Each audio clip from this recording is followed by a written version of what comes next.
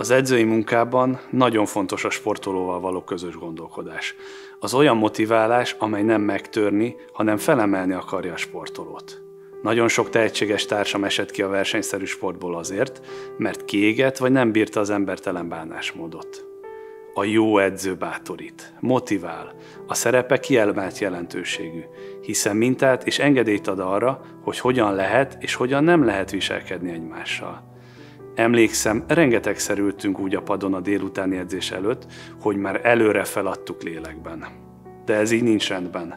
Hiszem, hogy egy gyerek úgy is fejlődhet a sportban, ha mosolyogva, jó kedvel megy az edzésre. Sőt, akkor fejlődik igazán, mert akkor a helyes kartempok mellett azt is megtanulja, hogy fontos, hogyan érzi magát. Ebben segít a Nemecsek program.